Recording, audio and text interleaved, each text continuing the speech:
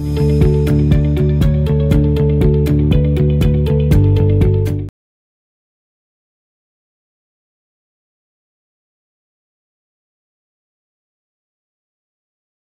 friends welcome to LawSikho IPR channel आज की video के अंदर मैं आप लोगों से बात करूँगा कैसे आप लोग आईपीआर के अंदर प्रैक्टिस करके महीने का हज़ार डॉलर कमा सकते हो। हज़ार डॉलर का मतलब होता है महीने का सत्तर से अस्सी हज़ार रुपए।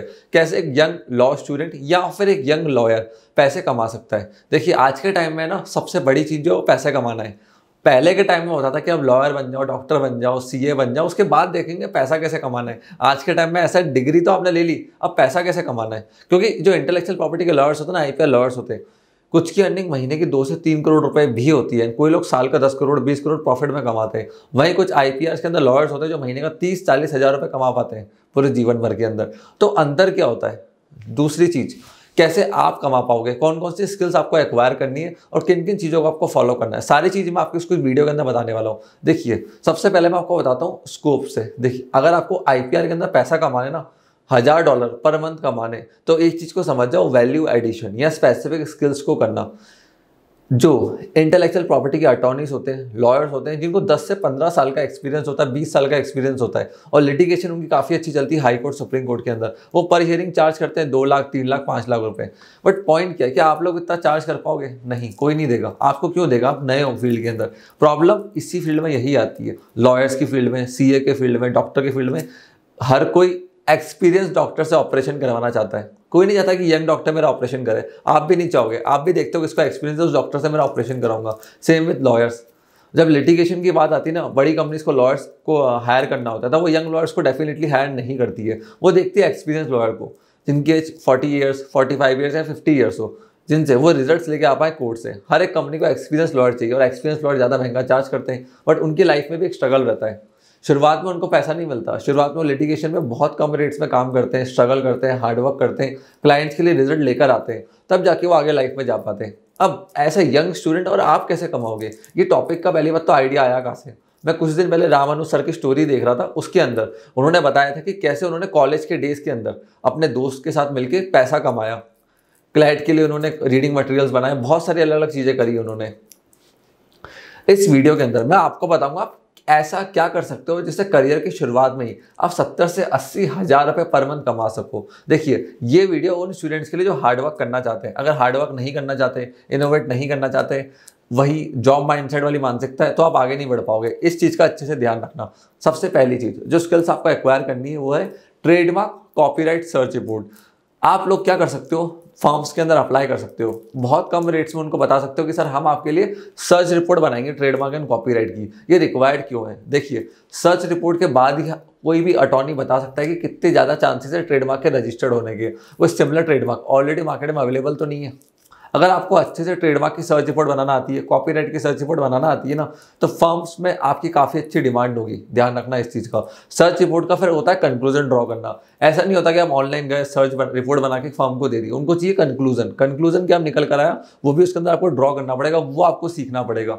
और एक चीज़ का ध्यान रखना। ट्रेडमार्क सर्च रिपोर्ट है ना, कई स्टूडेंट सोचते हैं, बहुत मामूली सा काम है, छोटा सा काम है।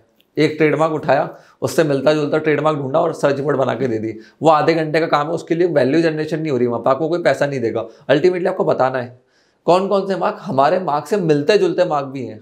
अगर दो तीन वर्ड्स का मिलकर एक मार्क बन रहा है तो वहाँ पे भी आपका कंक्लूजन अच्छा ड्रॉ होना चाहिए। आपको उसका भी सर्च करना आना चाहिए। तो उसको बोलते हैं परफेक्ट सर्च रिपोर्ट उसके बाद डोमेन नेम डिस्प्यूट अब ये क्या होता है? देखिए, पहले सारे बिज़नेस ऑफलाइन थे, अब बिजनेसेस ऑनलाइन हो रहे हैं। कोविड का टाइम आ गया, समय बदल रहा है। रिमोट वर्क अब हुआ क्या? इतने सारे डोमेन्स मार्केट के अंदर आए ऑनलाइन बिज़नेस चालू हुए तो वहाँ पे क्या डिस्प्यूट्स भी आएँगे? तो वहाँ पे एक्सपर्ट लॉयर्स की ज़रूरत पड़ती है, जो मदद कर सके। सिमिलर डोमेन्स को फाइंड आउट कर सके, जैसे अमूल के केस में हुआ था। अब यहाँ पे क्या हुआ? Amul dot com famous brand है। किसी ने डोमेन चालू कर दिया, अमूल डिस्ट्रीब्यूशन डॉट कॉम अब कोई गूगल पे टाइप करता है ना अमूल डिस्ट्रीब्यूशन के बारे में तो ये वेबसाइट पहले रैंक हो जाती है, अमूल की नीचे रैंक होती है। अब कस्टमर उस पर जा रहा है, उसको लग रहा है, अरे वाह, अमूल डिस्ट्रीब्यूशन दे रहा है। उन्होंने जाके फटाफट वहाँ बुकिंग कर दी, पैसे ऑनलाइन जमा करा दिए। बाद में वो वेबसाइट हो गई बंद। जो मालिक था वेबसाइट का तो पैसे लेके निकल लिया। अल्टीमेटली अमूल को दिक्कत खड़ी हो गई। वहाँ पे अमूल वालों ने केस फ़ाइल करा उस डोमेन ओनर के ऊपर।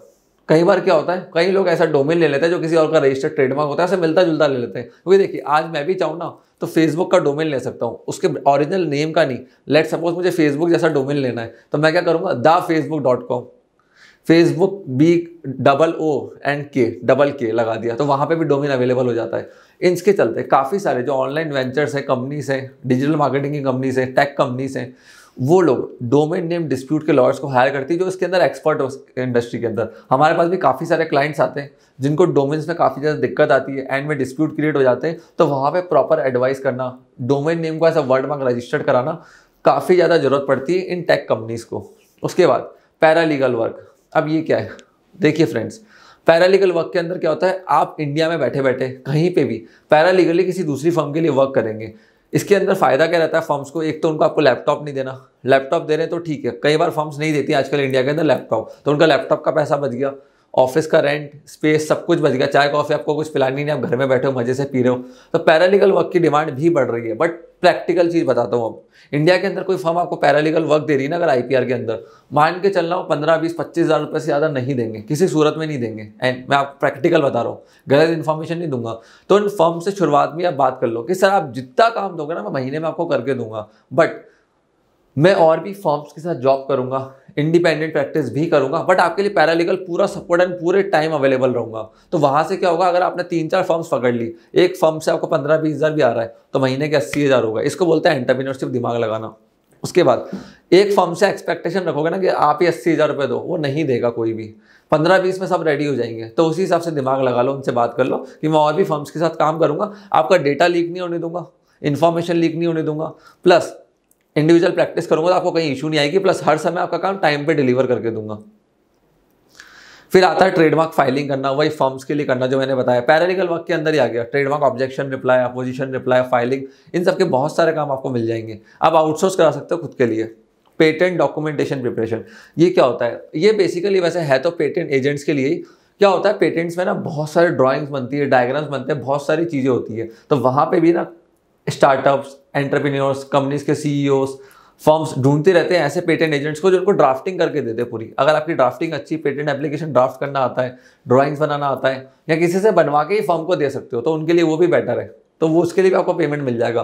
बट वही है पेटेंट के अंदर भी तीस पैंतीस हज़ार से ज़्यादा नहीं मिलते हैं। दो तीन फॉर्म पकड़नी पड़ेगी, तब अस्सी हज़ार रुपये तक जाओगे। प्लस साथ साथ इंडिविजुअल प्रैक्टिस भी डेवलप करनी पड़ेगी। नहीं तो देखो, सबसे बेस्ट ऑप्शन है। फॉर्म्स को पकड़ लो। इंडिविजुअल प्रैक्टिस करोगे तो क्लाइंट्स पकड़ो, उनको सेटिस्फाई करो टीम बिल्ड करो। बहुत नुकसान है, क्योंकि उसमें आपको आउटपुट नहीं आएगा। फॉर्म ने आपको काम दिया पर मंथ आपको सैलरी आ रही है। और दो तीन फर्में हैं तो आपको अच्छा खासा पेमेंट मिल रहा है। कॉपीराइट फाइलिंग ये भी आता है। कॉपीराइट आपको अच्छे से फ़ाइल करना आता है। किसी फर्म से पैरा पैरालीगल वर्क उठाओ, वो व्हाट्सएप पे ईमेल पे आपको डालते रहेंगे आप उनको कर करके डिलीवर करते जाओ। प्लस आप ये भी कर सकते हो कि कॉपीराइट में उनको ये बोल दो कि, सर, जो आपकी फ़ीस आप क्लाइंट से ले रहे हो ना, उसका 10 से 15 परसेंट या 20 परसेंट मैं चार्ज करूँगा। क्लैरिटी रहती है, उनको भी पता है कि हाँ अस्सी परसेंट हमें मिल रहा है। क्लाइंट वो लेकर आ रहा है, रेपुटेशन उनकी बीस परसेंट आपको जा रहा है। तो आपको पर क्लाइंट पे पैसा मिल जाएगा तो अच्छा चेक आपका हर महीने बनता जाएगा, उनको भी मोटिवेशन रहेगा कि आपको ज़्यादा से ज़्यादा काम ला के दे। एंड जितना ज़्यादा काम होगा, आपका उतना ज़्यादा पैसा बनेगा। अब एक चीज़ का ध्यान रखना एंड के अंदर एक और चीज़ बताता हूँ। स्टार्टअप्स को आप हेल्प कर सकते हो लीगल वर्क के अंदर। बहुत सारे ऐसे स्टार्टअप्स होते हैं जिनको आई लॉयर्स की ज़रूरत पड़ती है बट पैसा ना होने के कारण वो अच्छे लॉयर्स को हायर नहीं कर पाते। अब वो किसी से आउटसोर्स भी करना तो महँगा पड़ता है। तो वहाँ पे आप उनको रिमोट वर्क का ऑफ़र दे सकते हो। 10 से 15 स्टार्टअप में वर्क कर सकते हो। जनरली एक स्टार्टअप आपको पे करेगा पाँच से दस हज़ार रुपये इससे ज़्यादा पे नहीं करने वाला, इस चीज़ का अच्छे से ध्यान रखना। अगर दस से पंद्रह स्टार्टअप भी है ना, दस स्टार्टअप में मानता हूँ उन्हें पकड़ के चले। एक स्टार्टअप से आपको दस हज़ार रुपये अराउंड आ रहा है महीने का। तो आपके लिए तो महीने का एक लाख रुपये हो गया। उनको यही टर्म्स एंड कंडीशन में स्पेसिफाई कर देना। कि मैं आपके लिए महीने के पाँच से दस एग्रीमेंट बना सकता हूँ, इतने इतने ट्रेडमार्क फ़ाइल कर सकता हूँ, इतना इतना सर्च कर सकता हूँ ट्रेडमार्क के बारे में और अनलिमिटेड लीगल कंसल्टिंग दे सकता हूँ। उसमें ज़्यादा टाइम नहीं लगता है। एग्रीमेंट बनाने में टाइम लगेगा। कंसल्टिंग में ज़्यादा टाइम नहीं लगता, ना कोई सामने वाला टाइम अपना इन्वेस्ट करेगा आपसे बार बार बात करने के अंदर। और इसमें अराउंड आप दस हज़ार रुपये पर मंथ एक क्लाइंट से चार्ज कर सकते हो। दस स्टार्टअप पकड़े, एक लाख रुपये हो गया। और कोई आपको ये बोलता है ना कि, एक लाख मिलना चाहिए डेढ़ लाख तनख्वाह मिलनी चाहिए एक स्टार्टअप से कंपनी से तो पॉसिबल नहीं है इस चीज़ का ध्यान रखना। मान के चलो एक बंदा जिसको ट्रेडमार्क का अच्छा खासा एक्सपीरियंस है वो पास आउट हुआ अच्छे कॉलेज से अच्छा खासा एक्सपीरियंस है एक साल का तो भी उसको है ना तीन तीन साढ़े तीन लाख का पैकेज ही मिलेगा शुरुआत के अंदर उससे ज़्यादा नहीं मिलता है तो एक्सपेक्टेशन बांधनी भी नहीं है। तरीके बदल दो, तरीके नए इनोवेट कर दो। कि यार एक क्लाइंट से और एक फर्म से इतना नहीं आ रहा है तो फर्म्स को मल्टीप्लाई कर देता हूँ पैरालीगल वर्क पकड़ लेता हूँ। फिर आठवीं चीज़, कि आप पैसा कैसे कमा सकते हो? टीचर बन के। अगर आप एक आईपी लॉयर हो इंटेलेक्चुअल प्रॉपर्टी की अच्छी नॉलेज हो तो आप कोर्सेज बना सकते हो बुक्स लिख सकते हो, जो ऑलरेडी एटेक कंपनीज़ हैं लॉ कॉलेजेस हैं, उनके लिए नोट्स बना सकते हो, वो भी काफ़ी अच्छा पे करते हैं। मज़ाक नहीं कर रहा हूँ। राम मनोज सर ने जब अपनी करियर की शुरुआत करी थी ना तो वो इन्हीं सब चीज़ों से करी थी। शुरुआत में थोड़ा ना उनके पास कोई एटेक कंपनी थी, या कोई बड़े बड़े क्लाइंट्स थे, जिनको वो सर्विसेज़ देते थे। उन्होंने तो अपनी शुरुआत इससे ही करी ना। किससे? कोचिंग इंस्टीट्यूट के लिए नोट्स बना के। शुरुआत छोटी होती है। शुरुआत में पैसा कम आता है इस चीज़ को समझना। हो सकता है किसी कोचिंग इंस्टीट्यूट के लिए काम कर रहे हो कॉलेज के लिए काम कर रहे हो, वो बीस पच्चीस हज़ार रुपये दे आपको। बट आपका क्या? आपकी तो स्किल्स बढ़ रही है। एक बार स्किल्स बढ़ी स्किल्स में इंप्रूवमेंट आया, थोड़ा आपको ग्रोथ दिखा, चीज़ें समझ में आई। और क्या पता वहीं से आपको उन्होंने कोई बड़ा क्लाइंट रेफर कर दिया कि बच्चा बहुत हार्ड वर्किंग है, या किसी फॉर्म को रेफर कर दिया कि ये बच्चा सारे नोट्स बनाता है हार्ड वर्किंग है टाइम पे बनाता है इनोवेटिव है। क्योंकि रेफरेंस का बहुत बड़ा खेल है इस इंडस्ट्री के अंदर सर्विस इंडस्ट्री के अंदर। सीए इंडस्ट्री एमबीए जो एमबीए के बच्चे होते हैं चार्टेड अकाउंटेंट होते हैं लॉयर्स होते हैं इंटेलेक्चुअल प्रॉपर्टी के अटॉर्नीज होते हैं, अगर आपको किसी ने रेफर कर दिया ना प्रैक्टिकल चीज़ बता रहा हूँ रेफरेंस का यह बहुत तगड़ा चीज़ है। अगर लेट सपोज़ मैं किसी फॉर्म में अप्लाई करता हूँ, वहाँ मुझे तीस, चालीस हज़ार रुपये मिल रहे हैं। वहीं पे किसी एक बड़े अटॉर्नी ने या रेपुटेटेड पर्सन ने मुझे कहीं पे रेफर कर दिया, वो एक कंपनी हो सकती है फर्म हो सकती है तो वहाँ पे पैकेज सीधा डबल या ट्रिपल होता है। मेरे को भी काफ़ी लोगों ने जगह रेफर करा था तो उससे मुझे काफ़ी अच्छे ऑफर्स आए जॉब के। लाखों के अंदर आए, मैं अमाउंट डिस्क्लोज नहीं कर सकता बट ये वो अमाउंट है जो आई टॉपर्स होते हैं ना आईआईटी कॉलेज का टॉपर आई कॉलेज का टॉपर उनको जो अमाउंट मिलता है, वो अमाउंट मुझे उस समय मिल रहा था। क्यों? जहाँ पर मैं काम कर रहा था ना, वो काम मैं बहुत अच्छे से कर रहा था पैशन के साथ करता था डेडिकेटेड डेडिकेशन के साथ करता था। तो उन फाउंडर्स को या उन फर्म्स के पार्टनर्स को पता था इस बंदे में हार्ड वर्किंग है। ये हार्ड वर्किंग बंदा है टैलेंटेड बंदा है इनोवेटिव बंदा है। और इसको अगर हम एक्स्ट्रा काम भी देंगे, मुश्किल काम भी देंगे ना, ये तो भी करेगा, हार नहीं मानेगा। तो रेफरेंस का बहुत बड़ा खेल होता है। अगर आपको किसी ने रेफर कर दिया तो वहाँ से बहुत अच्छा आपका पैसा बनेगा एंड आपको अच्छा पैकेज भी मिल सकता है। सो so फ्रेंड्स मैं आशा करता हूँ ये वीडियो आपको पसंद आई होगी। प्लीज़ इस वीडियो को लाइक करके जाना। चैनल को फटाफट से सब्सक्राइब कर दो, क्योंकि जैसे ही मैं ऐसे काम की इन्फॉर्मेशन एंड वीडियो लेकर आऊँ, आप लोगों को तुरंत उसका नोटिफिकेशन मिल जाए।